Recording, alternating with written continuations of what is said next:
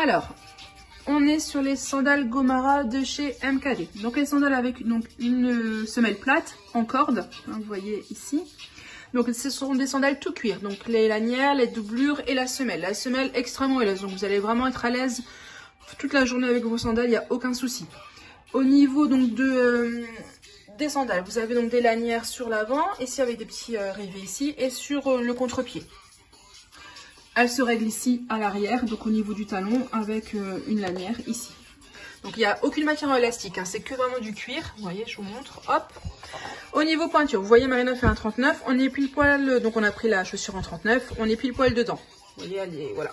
Donc pour les demi-pointures, c'est comme vous voulez. Si vous aimez bien être vraiment au bout, bah, vous pouvez prendre la pointure du dessous. Si vous aimez être comme Marina, un petit peu, qui a un petit peu de marge, vous prenez celle du dessus. Donc pointure, elle chasse, elle chausse correctement. Mais par contre, bah, la demi-pointure, à vous, de voir soit, en dessous, soit au-dessus. Et au niveau des, euh, pieds, vous voyez Marina un pied fin, il n'y a pas de souci. Elle a un petit peu de laisse, mais ça reste, ça reste maintenu. Moi je suis un pied fort, je les ai, euh, je les ai passés, il n'y a pas de souci.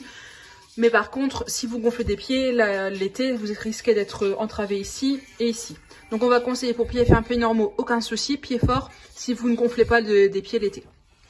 Voilà